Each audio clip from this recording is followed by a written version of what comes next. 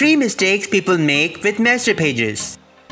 You might be using Adobe InDesign in your Word formatting project for your client or for your own brand. Obviously, it requires master pages. There is no denying that master page is a powerful tool, but are you using it in the most efficient way? If not, it might cost you a lot of time. In this tutorial, you will find out the 3 most common mistakes people make when using master pages in Adobe InDesign and how to correct them. Sit back and watch this full tutorial.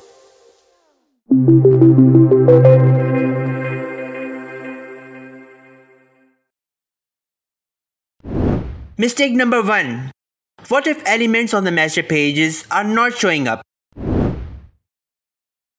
This is actually caused by an issue with your layers. The first step is to verify that each element on your master page is in the right order.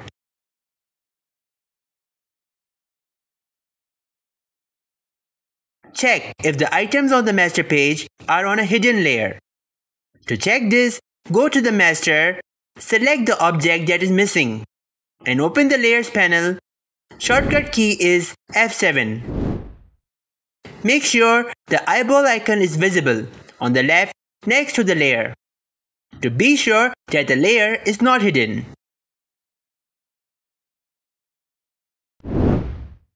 Mistake number 2.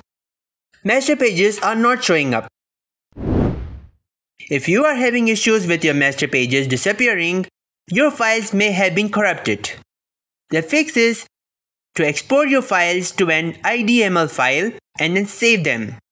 This usually fixes the issue. Step number 1. Export your document. To do that, go to File and then Export. Step number 2.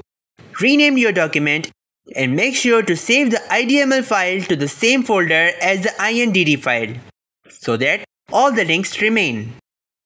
Try your master pages now. This usually fixes the issue.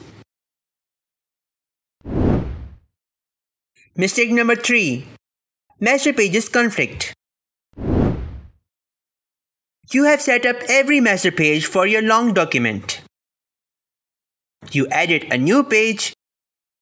You drag the master page into a new page. And all of a sudden, InDesign will show you error message asking you page number this has a custom page size. This page can retain its current size or be resized to match the new master. Let me tell you that each page in an Adobe InDesign document can have its own size, controlled with the page tool in the toolbar, which lies below the selection tool.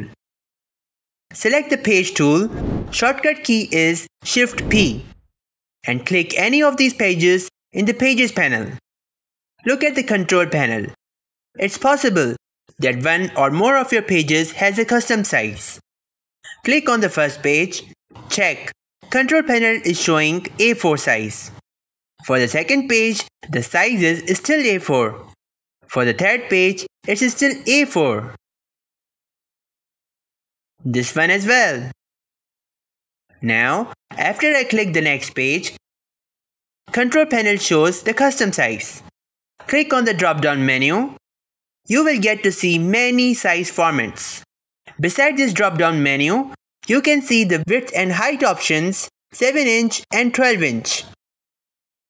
So the possible solution is that you can simply drag the master page of the size you want and drop it on the page palette.